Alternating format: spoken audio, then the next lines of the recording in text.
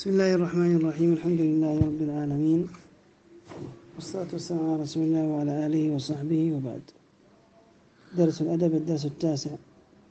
قال الأدب في عصر صدر الإسلام. يعني في أول الإسلام. الكلمات الجديدة استنصح يستنصح استنصح طلب النصيحة. أطوار بمعنى مراحل. جمع طور. والإنسان يمر بمراحل عديدة بأطوار عديدة. كان جنينا في بطن أمه ثم طفلا ثم شابا ثم ثم. نعم. أطوار. إهمال. أهمل يهمل إهمالا. عكس اهتمام. بالغ بالغ بمعنى قوي. تنوع مصدر تنوع يتنوع تنوعا. التنوع بمعنى التغيير. تنوع الدروس مهم حتى لا يمل الطالب. يعني مرة درس في التوحيد مرة درس في الفقه مرة درس في اللغة مرة في الأدب. تنوع. تهذيب تهذيب بمعنى تجميل وتحسين. وفي الكلام تهذيب الكتاب بمعنى اختصاره بمعنى اختصار الكلام. وبيان ما هو الكلام الذي يصلح وما هو الذي لا يصلح. توافق بمعنى تماثل حصل توافق يعني اتفاق على كذا وكذا. الجد الجد عكس المزح. الجد في الشيء عكس المزح. جنازة الميت الذي يحمل على الأكتاف. الداعية الذي يدعو إلى الله. وداعية الضلال يدعو إلى الباطل. ذنوب جمع ذنب. الذهن بمعنى العقل يعني الذي به يحصل التفكير. نعم. إذا أردت أن تكتب التدريبات المهمة فاكتبها وأنت صافي الذهن يعني ذهنك ليس مشغولا بشيء آخر. رقق يرقق رقق جعله رقيقا عكس شديدا. تقول مثلا سمعت موعظة رققت قلبي. أو سمعت وعظا رقق قلبي. يعني جعل قلبي رقيقا. سماع مصدر سمع يسمع سماعا. شمت شمت قال له يرحمك الله. وإذا عطس فحمد الله فشمته. إذا عطس أخوك المسلم وقال الحمد لله شمته أي قل له يرحمك الله. شمت زيدا قال له يرحمك الله. الضياع بمعنى الإهمال. يعني عكس الاهتمام. ضيف ظل ظل يعني ماذا؟ المكون. يعني لما تكون الشمس موجودة تجد جدارا. الجدار هذا يكون له ظل لما يحجب الشمس. نعم ما يستظل به من الشمس. ما يستظل به من الشمس. عطس من العطس عطس يعطس عطسا. عطس فعل ماضي يعطس عنف بمعنى شدة عيادة للمكان بمعنى زيارة. عيادة المريض زيارة المريض. فصحاء جمع فصيح يعني يحسن الكلام يتكلم جيدا. الجمع فصحاء والمفرد فصيح. لهجة بمعنى لغة. ماثل بمعنى شابه يماثل يشابه. متفق عكس مختلف. مزيد نعم بمع عكس آه ناقص. محسن أحسن يحسن إحسانا عكس مسيء. معجز القرآن معجز يعني من يريد أن يأتي بمثله يعجز ما يستطيع. معجزة معجز. مفاهيم جمع مفهوم. بمعنى آراء جمع رأي. الذي يراه الإنسان بعد تفكير الرأي الذي يراه الشخص بعد تفكير يسمى مفهوم الجمع مفاهيم مكر يمكر منهج مكر من المكر والكيد.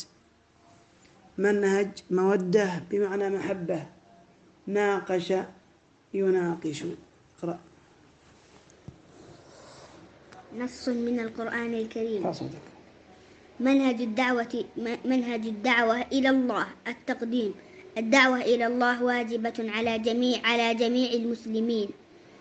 كل على جميع المسلمين. كل بحسب, بحسب استطاعته. وهي من أفضل الأعمال التي يتقرب بها المسلم إلى ربه. وللدعوة إلى الله منهج بي منهج بينه الله سبحانه وتعالى في قوله ادع إلى سبيل ربك بالحكمة والموعظة الحسنة وجادلهم بالتي هي. بالتي هي أحسن إن ربك هو, أعل... هو أعلم بمن ضل عن سبيله وهو أعلم بالمهتدين وإن عاقبتم فعاقبوا بمثل ما عوقبتم به. بما... بمثل ما عوقبتم به لئن صبرتم ولا إن صبرتم واو ولئن صبرتم لهو خير سقطت واو. ولا إن صبرتم. ولئن صبرتم لهو خير للصابرين. واصبر وما صبرك إلا بالله ولا تحزن عن, عن ولا تحزن عليهم ولا تك في ضيق مما يمكرون. إن الله مع الذين اتقوا والذين هم محسنون. نعم. شرح المفردات. سبيل. طريق وسبيل الله هو الإسلام. الحكمة القول اللين الطيب في, ال- في الوقت المناسب. جادلهم ناقشهم وحاورهم. ضل ضاع والمقصود بقوله ضل عن سبيله ابتعد عن طريق الله. عاقب عاقبتم جازيتم غيركم على أخطائهم. ولا تكن أصلها ولا تكن. فحذفت النون. لا تستعجل بالكلام. قليلا قليلا أصلها ولا تكن. فحذفت النون تخفيفا.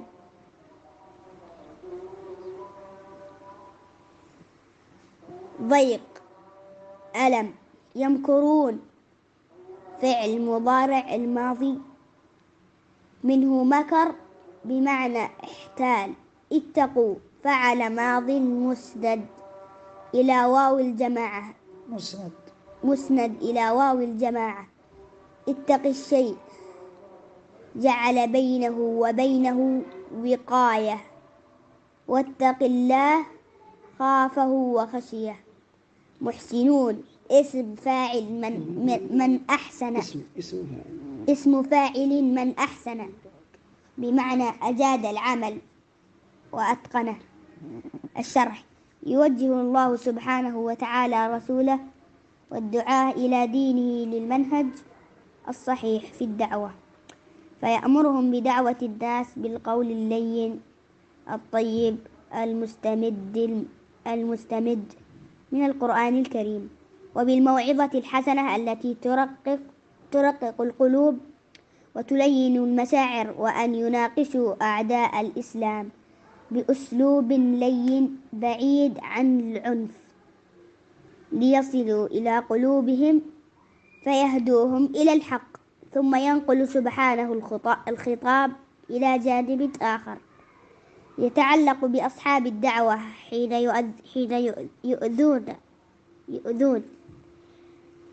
فيبي فيبين في- فيبين لهم الطريقة التي يردون بها على من على من آذاهم. وهي الرد بالم- بالمثل أو الصبر على الأذى وهو الأفضل. ثم يحث يحث رسوله على على الصبر ويربط الصبر به سبحانه لأن النفس تهدأ حين ترتبط بالله وتلجأ وتلجأ بالله. نعم. وتلجأ إليه كما يوصيه الله بال بال بأل بأل بأل بألا يهتم بما يقوله يقوله ويع ويعمل ويع ويعمله. ويعمله أعداء الإسلام من حيل لأن الله سينصره ويعينه فهو فهو مع من أت- مع فهو مع من اتقاه وأحسن في قوله وفعله. الخصائص تمتاز هذه الآيات بخ... الآيات بخصائص بخصائص منها مخاطبة الواحد مع إرادة مع إرادة الجمع. فقد خاطب الله رسوله صلى الله عليه وسلم في قوله ادعو مع أن الأمر يعم كل الدعاء إلى الله.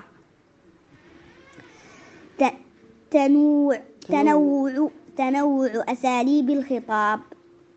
حيث وجه الخطاب للمفرد أولا ادعو وجادل ثم إلى إلى الجمع ثانيا وإن عاقبتم ثم إلى المفرد مرة أخرى واصبر.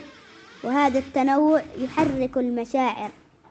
ويدعو إلى إثا- إثارة الاهتمام استخدام فعل الأمر في طلب الدعوة بالحكمة وال- والجدال بالتي هي أحسن. ادعو وجادل تهديد المخالفين بطريق غير مباشر. إن ربك إن ربك هو أعلم بمن ضل عن سبيله. خمسة التأكيد على الصبر بأساليب مخ... بأساليب مختلفة. أسلوب الش... أس- أسلوب الشرط. ولئن صبرتم وأسلوب الأمر واصبر وأسلوب وأسلوب النهي عن الضيق عن الضيق بالمخالفين ولا تك في ضيق. ن- نص نص من الحديث الشريف. حق حق المسلم على المسلم. نقل هذا ما شاء الله. قال نص من الحديث الشريف حق المسلم على المسلم التقديم. حرص الرسول صلى الله عليه وسلم على تكوين مجتمع مترابط يحب كل, كل فرد فيه أخاه الآخر فأوجب على كل مسلم حقوقا لأخيه المسلم. وضحها في قوله صلى الله عليه وسلم النص. عن أبي هريرة رضي الله عنه أن رسول الله صلى الله عليه وسلم قال حق المسلم على المسلم ست. قيل ما هن يا رسول الله؟ قال إذا لقيته فسلم عليه وإذا دعاك فأجبه وإذا استنصحك فانصح له وإذا عطس فحمد الله فشمته وإذا مرض فعده وإذا مات فاتبعه. شرح المفردات. استنصحك فعل الماض ثلاثي مزيد بثلاثة حروف هي الألف والسين والتاء وأصله. وأصله نصح ومعناه طلب منك النصيحة. فشمته فعل أمر بمعنى ادع له بالرحمة. أي قل له يرحمك الله. فعده فعل أمر بمعنى فزره مرة بعد أخرى. ومنه سمي مكان الطبيب الذي يعالج فيه المرضى عيادة. أي لأن الناس يعتادون أو يكررون المجيء إليه. وفضل فعده على فزره ليفيد تكرار الزيارة. وإذا مرض فعده ولم يقل فزره لأن العياد لأن العود يعني تكرار الزيارة. آه، فاتبعه فعل أمر بمعنى فسر وراء جنازته. الشرح. حث الرسول صلى الله عليه وسلم المسلمين في هذا الحديث على أن يتصفوا بالأخلاق الكريمة. وأن يعامل بعضهم بعضا معاملة طيبة لتنتشر المودة بينهم أي المحبة. فأوجب على كل مسلم حقوقا لأخيه المسلم في أحوال صحته ومرضه وموته. وهذه الحقوق هي واحد أن يسلم عليه حين يلتقي به ليدخل السرور إلى نفسه. أن يجيب دعوته إذا دعاه ليشعره بمشاركته إياه.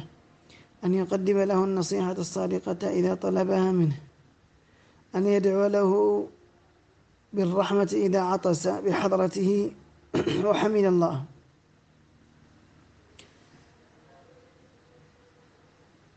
خمسة أن يعوده إذا مرض ويدعو له بالشفاء. ستة أن أن يسير في جنازته إذا مات ويدعو له بالمغفرة والرحمة.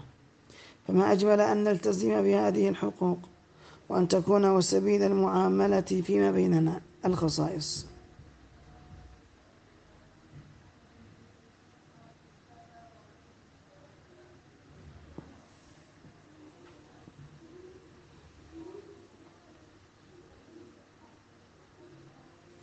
يمتاز هذا الحديث بخصائص منها واحد دقة التعبير. فقد عبر صلى الله عليه وسلم بكلمة حق ليدل على أهمية هذه الأمور. تهيئة أذهان السامعين لسماع هذه الحقوق. فقد سكت صلى الله عليه وسلم حتى استفهم من, من حوله فعرف أنه أنهم قد استعدوا لسماعها فذكرها. أكمل. كمان ثلاثة. عبر بكلمة فعد. بدلا من فزر. ليدل على أنه ينبغي تكرار الزيارة للمريض ترتيب الأفكار حيث أتت الحقوق متفقة في ترتيبها مع الأطوار التي يمر بها الإنسان. الأطوار يعني المراحل. نعم. الأطوار التي يمر بها الإنسان فثلاثة, فثلاثة حقوق في حالة في حالة الصحة. وحقان في حالة المرض. وحق في واحد في حالة الموت. سهولة الألفاظ وفصاحتها. عمق, عمق المعاني وقربها إلى الذهن. سبعة الإيجاز. أثر القرآن والحديث في اللغة والأدب. القرآن كلام الله الذي لا يأتي الذي لا يأتيه الباطل من بين يديه ولا من خلفه. المعجز المعجز بألفاظه ومعانيه وأساليبه وأحكامه. فقد أعجز, فقد أعجز, أعجز فصحاء, فصحاء العرب عن الإتيان بمثله مع فصاحتهم وقوة بيانهم ونزوله بلغتهم. إنا أنزلناه قرآنا عربيا. أما الحديث فكلام رسول الله فكلام رسول الله محمد صلى الله عليه وسلم ألفاظه من عنده ومعناه من عند الله. قال تعالى وما ينطق عن الهوى عن الهوى الهوى إن هو إلا وحي يوحى. وقد شاء الله أن يكون محمد صلى الله عليه وسلم أفصح الناس وأحسنهم وأحسنهم بيانا. إذ بعثه في أمة العرب التي تفتخر بفصاحتها وقوة أحسن وقوة وقوة وقوة بيانها. وأجرى القرآن على لسانه وقد ساعده وقد ساعده على الفصاحة. أمور منها أنه ولد في في بني هاشم ورضع في في بني سعيد ونشأ في قريش في بني سعد. في بني سعد ونشأ في قريش. وكلها قبائل لها مكانتها الكبيرة في البلاغة والفصاحة.